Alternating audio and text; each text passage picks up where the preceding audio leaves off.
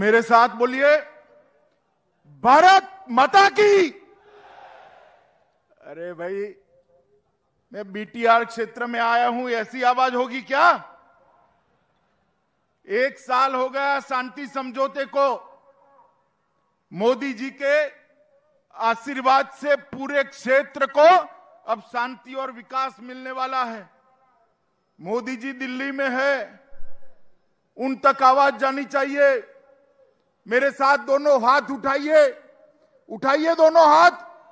अंत तक सभी लोग दोनों हाथ उठाए और विकास और शांति की मुट्ठी बींचिए और प्रचंड आवाज़ से बोलिए, भारत माता की, भारत माता की, भारत माता की।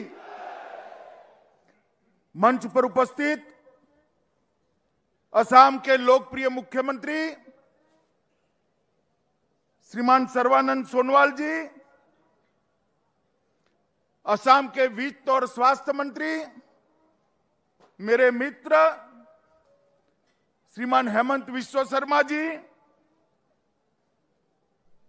ये हमारे शांति समझौते के एक प्रमुख शिल्पकार और अब आपके चुने हुए सीएम है। ऐसे प्रमोद बोरो जी, हमारे असम भारतीय जनता पार्टी के अध्यक्ष श्री रंजीत दास जी, भारतीय जनता पार्टी के राष्ट्रीय उपाध्यक्ष और असम के प्रभारी श्रीमान वैजंत पांडा जी, सांसद नाबा सरनिया जी, पल्लव लोचन दास जी मेरे मित्र और पूर्व सांसद विश्वजीत देमारी जी, उर्खाव गोरा ब्राह्मा जी, गोविंद जी, श्री जिष्णु बरुआ जी, भास्कर ज्योति महंता जी, सिद्धार्थ सिंह जी, हमारे विधायक श्री अशोक सिंगल जी, श्री डिपेन बोरो जी, श्री लॉरेंस इसलरी जी, और आज इस ऐतिहासिक दिन पर गिनती न हो सके इतनी संख्या में उपस्थित बोडो क्षेत्र के मेरे प्यारे भाइयों और बहनों को मैं प्रणाम कर कर मेरी बात की शुरुआत करना चाहता हूँ। मित्रों, आज इस ऐतिहासिक रैली में मैं पूरे देश को आपके माध्यम से कहना चाहता हूँ। मेरे राजनीतिक जीवन में मैंने बहुत रैलियाँ देखी हैं। इससे बड़ी भी रैलियाँ देखी है, संबोधित की है। मगर आज इस रैली को संबोधित करते हुए मेरे मन को अपार शांति का अनुभव हो रहा है। क्योंकि आज से ठीक एक साल पहले देश के प्रधानमंत्री जी के नेतृत्व में बोडो शांति समझौता हुआ और बोडो शांति समझौते ने प्रधानमंत्री जी ने एक निर्देश दिया कि पूरे उत्तर पूर्व में जहाँ जहाँ अशांति है इंसर्जेंसी है, सभी लोगों के वार्ता करिए और उनके साथ शांति का रास्ता प्रशस्त करिए। और मित्रों, मुझे कहते हुए आनंद है कि जो बीटीआर क्षेत्र का शांति समझौता हुआ, मोदी जी की अगुवाई में उसको एक साल आज पूरा हुआ है। आपका चुनाव भी समाप्त हो गया है और शांति के एक नए युग की शुरुआत हुई। मित्रों, सालों से चली आई समस्या, जिसने पाँच हज़ार से ज़्यादा लोगों की जान ली। मोदी जी के दृढ़ निश्चय और मोदी जी के मार्गदर्शन और हमारे प्रमोद जी के इनिशिएटिव के कारण आज ये समस्या शांत हो गई है और आने वाले अनेक सालों तक ये हमारा बोडो क्षेत्र विकास के रास्ते पर आगे चल पड़ेगा। मित्रों, आज मोदी जी के प्रतिनिधि नाते, भारत के गृह मंत्री नाते, मैं आप सभी को विश्वास दिलाने आया हूँ कि बोडो सब क्षेत्र जो कभी रक्त रंजित हुआ करता था हथियार उठाने वाले लोग यहाँ हत्याएँ करते थे, अपहरण करते थे। आज मैं आपको विश्वास दिलाना हूँ कि कुछ ही सालों में पूरे असम में सबसे विकसित क्षेत्र, ये हमारा बोडो क्षेत्र होने वाला है मित्रों, सबसे विकसित क्षेत्र होने और इसीलिए मैं आज जब बोडोफा उपेंद्र नाथ ब्रह्मा जी की मूर्ति को पुष्प चढ़ा रहा था तो रूपनाथ ब्रह्मा जी और उपेंद्र नाथ ब्रह्मा जी को उन्होंने जो स्वप्न देखा था, इस क्षेत्र के विकास का, इस क्षेत्र में शांति का, इस क्षेत्र में आपके अधिकारों का, उसको मैं साकार होते हुए देख रहा हूँ। इसलिए मैंने कहा, मेरे मन को अपार शांति है। दूसरी शांति का विषय है। इस क्षेत्र में मैं कई बार आया हूँ। कई रैलियाँ की हैं। चुनाव में भी की है, पहले भी की है। परंतु मित्रों, जहाँ बोडो और नॉन बोडो दोनों उपस्थित हो, ये पहली रैली है और इसलिए भी ये रैली का महत्व है। यहाँ बोडो भी है, नॉन बोडो भी है और जिन्होंने जहर पिलाया था, बोडो, नॉन बोडो को, ये सबको ये संदेश है कि बोडो भी यहाँ के है, नॉन बोडो भी यहाँ के है सब असम के पुत्र है, सब भारत माँ की संतान है, सब मिलकर इस देश को आगे बढ़ाएँगे असम को विकास के रास्ते पर ले जाएँगे। पूरे असम के अंदर इस प्रकार का जहर फैलाकर जिन्होंने शांति का भंग किया था, उनको आज ये रैली इसका एक जवाब है। मित्रों, एक ऐतिहासिक बोडो समझौता 27 जनवरी 2020 के दिन देश के प्रधानमंत्री मोदी जी के नेतृत्व में हुआ।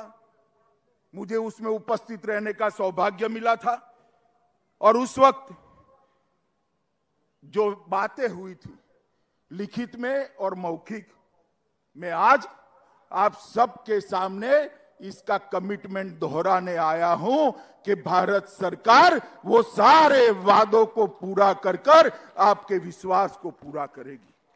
मित्रों, असम सरकार ने भी हमारे मुख्यमंत्री सर्वानंद जी और भाई हेमंत विश्व शर्मा ने भी इस समझौते के लिए बहुत अच्छा प्लेटफॉर्म तैयार करने का काम करा। और मैं आज भी सभी लोगों को कहना चाहता हूँ कि ये जो वादे किए गए हैं, वो हमारे प्रधानमंत्री जी के पूर्वोत्तर के विकास के विजन के लिए एक, इसका एक हिस्सा है। और इसको पूरा करना हम सबका लक्ष्य है। मित्रों, प्रधानमंत्री जी ने न केवल आसाम, पूरे पूर्वोत्तर क्षेत्र के अंदर जो इंसर्जेंसी हुई, उसको एक के बाद, एक के बाद, एक के बाद, एक समाप्त करने की शुरुआत की है और इसका शुभारंभ ये बोडो शांति समझौते से हुआ है। इसके बाद ब्रू और रियांग के सेटलमेंट का प्रयास किया गया। आठ अलग अलग हथियारी ग्रुपों ने हमारे मुख्यमंत्री के सामने 700 लोगों ने हथियार डालकर शांति का रास्ता प्रशस्त किया और ये सारी प्रक्रिया विकास के रास्ते में हमें ले जाने वाली है। क्योंकि मोदी जी ने जो न्यू इंडिया की कल्पना की है, आत्मनिर्भर भारत की कल्पना की है, वो कल्पना न्यू बोडोलैंड और आत्मनिर्भर बोडो क्षेत्र के अलावे समाप्त नहीं हो सकती। इसलिए हमें इसके सामने जाना है। मित्रों, आज हिंसा का युग समाप्त हो रहा है और शांति का युग शुरू हो रहा है।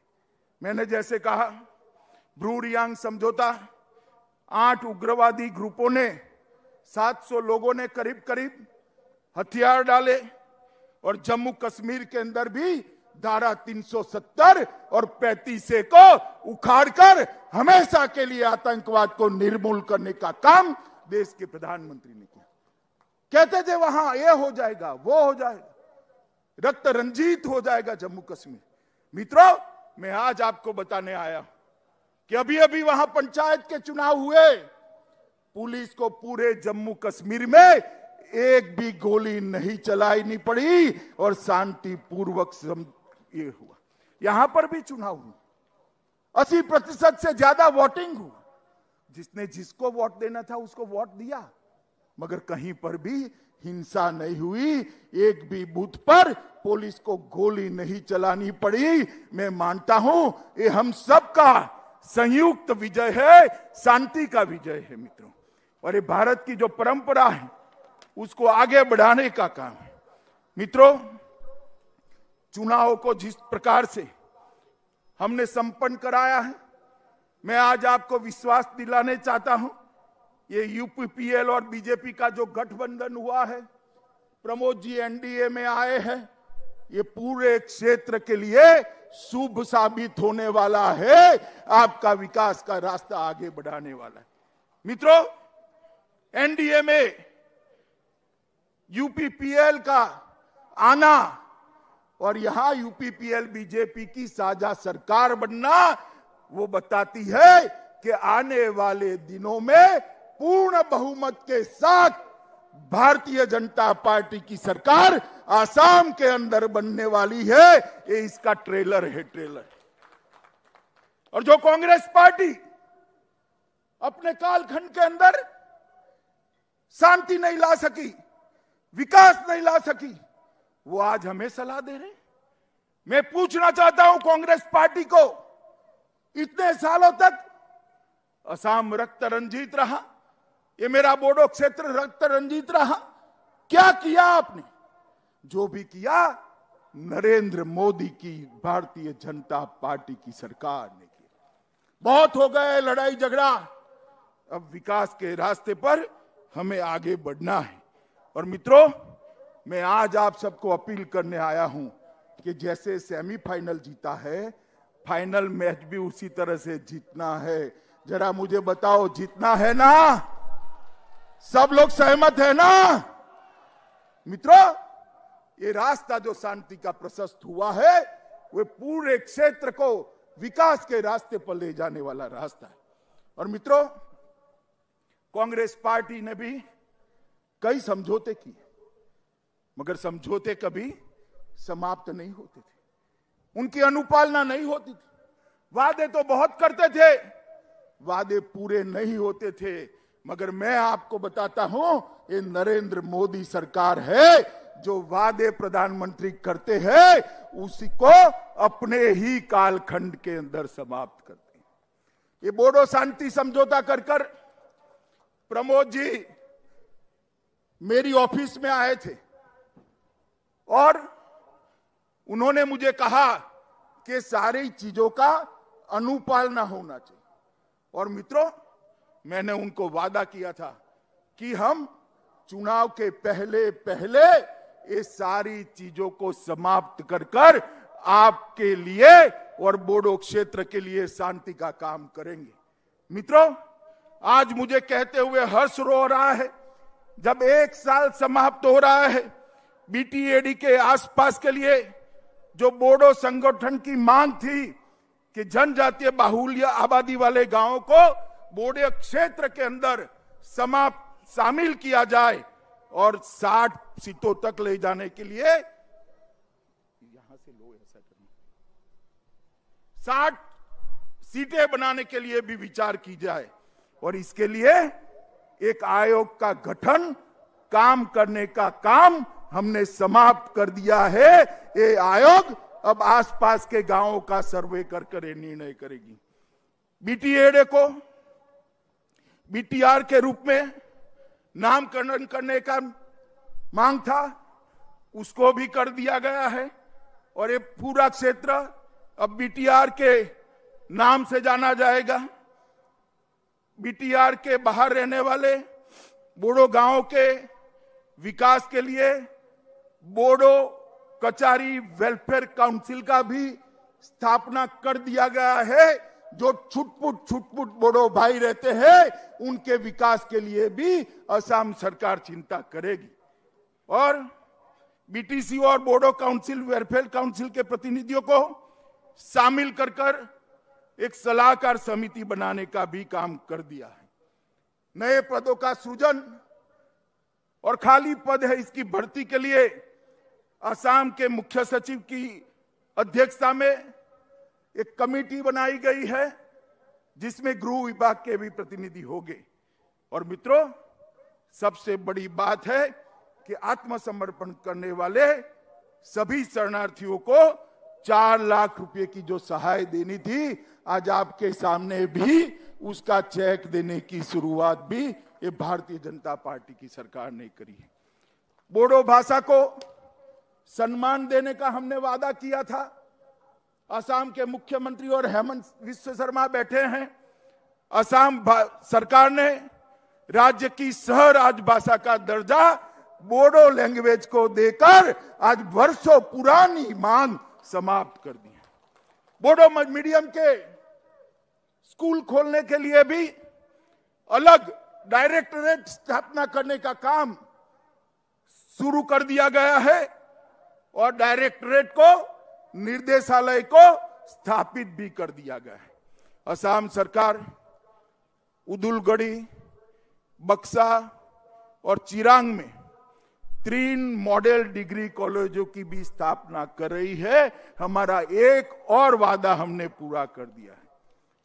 बोडोफा उपेंद्रनाथ ब्रह्मा के नाम पर उत्कृष्ट सांस्कृतिक परिसर इसकी स्थापना की भी प्रक्रिया हो गई है। चुनाव के पहले पहले इसकी स्थापना को भी हम परिपत्रित कर कर उपेंद्रनाथ ब्रह्मा को श्रद्धांजलि देने का काम करेंगे। मुझे घोषणा करते हुए बहुत आनंद हो रहा है मित्रों कि 500 करोड़ रुपए सिर्फ़ बोडो क्षेत्र के रोड नेटवर्क के लिए आवंटित किए गए हैं और ये रोड का जाला समग्र बोडो क्षेत्र को विकास के रास्ते पर ले जाएगा। मित्रों, बोडो समझौते में पाँच हज़ार करोड़ का जो पैकेज निर्धारित किया गया था, इसमें सारी मांग होने के बाद ऊपर मैंने जो गिना है उसके अलावे 750 करोड़ रुपया और उसकी पैंसठ योजनाओं को हमने चालू कर दिया है और उसमें से 570 करोड़ रुपया अलग से आवंटन भी हो चुका है। मित्रों, मैं यहाँ पर आज वादा करने आया हूँ कि बोडो जनजाति के हर अधिकार को, बोडो संस्कृति को, बोडो भाषा को हम सुरक्षित रखेंगे, इसका संरक्षण भी करेंगे, इसका संवर्धन भी करेंगे और उसको आगे भी बढ़ाएँगे। क्योंकि नरेंद्र मोदी सरकार मानती है, इस देश के प्रधानमंत्री मानते हैं कि सबका साथ, सबका विकास और सबका विश्वास यही एक मंत्र है जो भारत को आत्मनिर्भर बना सकता है। और प्रधानमंत्री जी का सीधा ध्यान है। बोडो समझौते का अमल कैसे हो रहा है?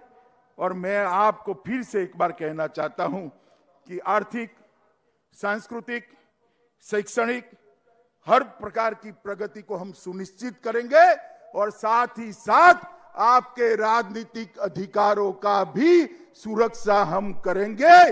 उचित स्थान बोडोलैंड के हमारे प्रतिनिधियों को असम सरकार के अंदर भी मिलेगा। मित्रों आसाम के अंदर 2014 में भारतीय जनता पार्टी की सरकार बनी और उसके साथ ही शांति, विकास और रोजगारी के एक नए युग की शुरुआत हुई। असम के अंदर सालों से अलग अलग नाम से युवाओं को गुमराह किया जाता था। कभी संस्कृति की बात करते थे, कभी भाषा की बात कुछ नहीं होने वाला। असम की संस्कृति और भाषा को आपसे ज़्यादा सुरक्षित करने का काम भारतीय जनता पार्टी करेगी। इसका ठेका किसी एक पार्टी का नहीं। और ये कांग्रेस पार्टी कांग्रेस पार्टी सालों तक असम को रक्त रंजित करती रही और अलग अलग प्रकार के आंदोलन करती रही। मैं पूछना चाहता हूँ अगर ये आंदोलन न हुए होते आ, तो आज हमारा आसाम कहाँ पहुँचा? सर्वानंद जी को मुख्यमंत्री बनाया हेमंत जी सीनियर मंत्री बने। आज पाँच साल में जो सत्तर साल में विकास नहीं हुआ था वो विकास आसाम का हुआ है और ये शांति प्रक्रिया के लिए है। आज भी मैं कहना चाहता हूँ कि आसामी नॉन आसामी बोडो, नॉन बोडो, ये झगड़े खड़े करने वाले लोगों को पहचान लीजिए।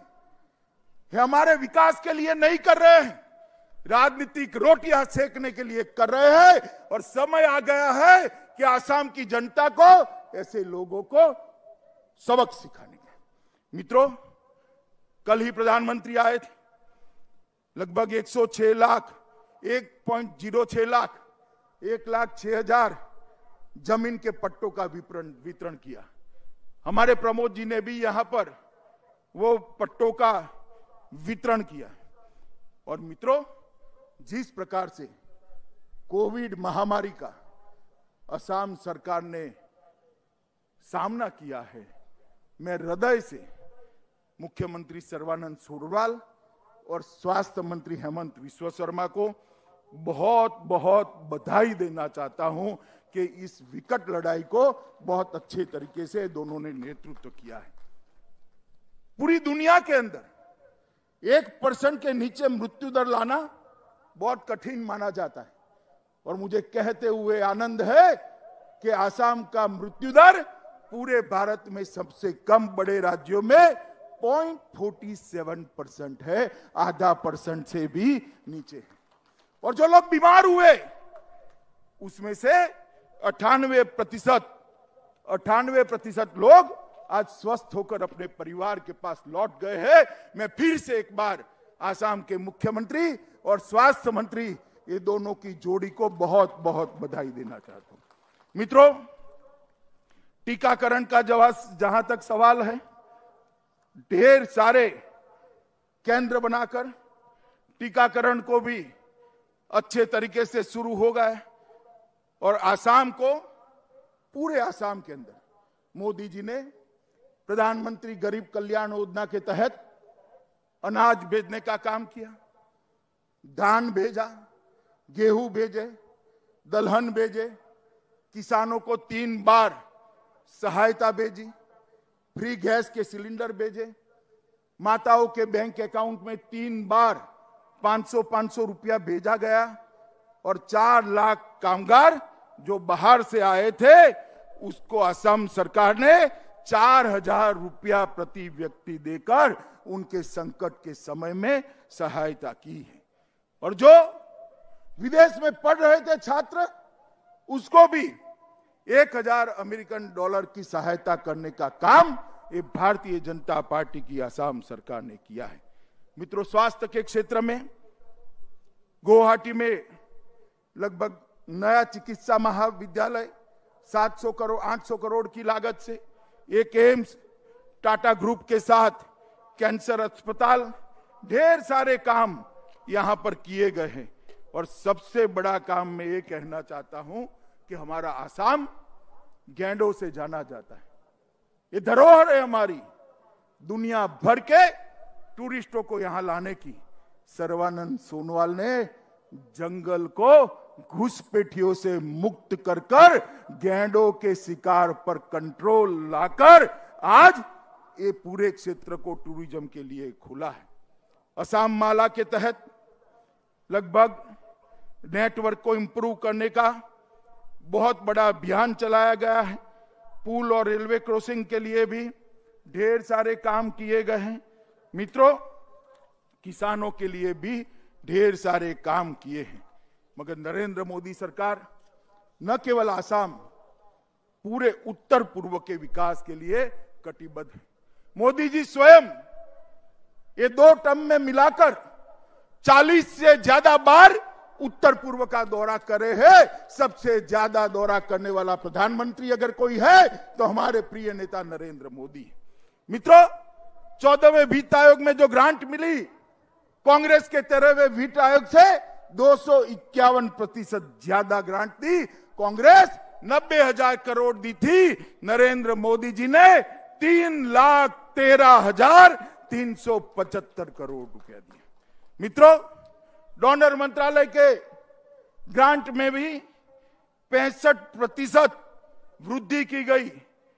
सिक्किम में, पोक्यांग में 550 करोड़ का हवाई अड्डा, असम में ब्रह्मपुत्र नदी पर 6000 करोड़ का बोगीबिल रेल सह सड़क पुल, कुमारघाट अगरतला के लिए नई रेल लाइन, मीटर गेज को ट्रंक लिंक से ब्रॉड ब्रॉड गेज में बदलने के लिए 8000 करोड़, तुरियाल जल विद्युत योजना मिजोरम 1400 करोड़, पारे जल विद्युत योजना अरुणाचल 1600 करोड़ त्रिपुरा गैस आधारित बिजली प्लांट 1100 करोड़, एनएच 44 त्रिपुरा के अंदर 800 करोड़, अरुणाचल के अंदर चांगलोंग खोस सड़क साढ़े चार सौ करोड़, और आसाम में एन एच थर्टी सेवन में 400 करोड़ रुपया का और निवेश। ढेर सारे काम नॉर्थ ईस्ट की सभी राजधानियों को रेल से जोड़ना, हवाई मार्ग से जोड़ना और इसके माध्यम से नॉर्थ ईस्ट का विकास करना। मित्रों, मुझे विश्वास है कि मोदी जी के नेतृत्व में जो सरकार बन रही है, यहाँ पर भी आप भारतीय जनता पार्टी की सरकार बनाइए। भारतीय जनता पार्टी की ये डबल लेकर सरकार इस क्षेत्र का द्रुत गति से, बहुत स्पीड के साथ विकास करेगी और विकास के नक्शे पर हमारे आसाम और बोडो क्षेत्र को पूरे भारत में सर्वप्रथम स्थान पर रख देगी। मित्रों, इस समुचित विकास के माध्यम से यहाँ टूरिज़्म भी आएगा और हमने प्रमोद बोरो पर यहाँ की जनता ने एक बहुत बड़ा दायित्व दिया है। मैं बोड़ो जी को कहना चाहता हूँ कि आप जरा भी चिंता मत करिए। राज्य सरकार और केंद्र सरकार इस विकास, एक क्षेत्र के विकास के लिए आपके पीछे चट्टान की तरह खड़ी है, आप आगे बढ़िए। और शांति के युग की जो शुरुआत हुई है, इसको अगले चरण के में ले जाने का काम करिए। और मित्रों, मैं फिर से एक बार कहता हूँ, भ्रष्टाचार मुक्त, घुसपैठिए मुक्त, आतंकवाद से मुक्त और प्रदूषण से मुक्त, असम अगर बनाना है तो मोदी जी के नेतृत्व में भारतीय जनता पार्टी भी बना सकती है।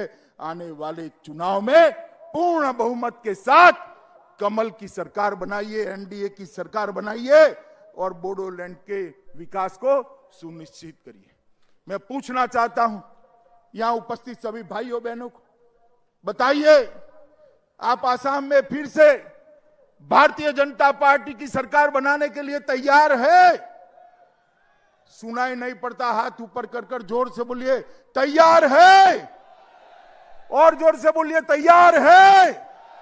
तो मेरे साथ दोनों हाथ उठाइए और विजय के संकल्प का मुट्ठी बिंचिए और प्रचंड आवाज़ से बोलिए, भारत माता की, भारत माता की, भारत माता की, वंदे लेटेस्ट अपडेट और खबरों के लिए टीवी वन इंडिया को सब्सक्राइब करें और नोटिफिकेशन पाने के लिए बेल आइकॉन को दबाना मत भूलें।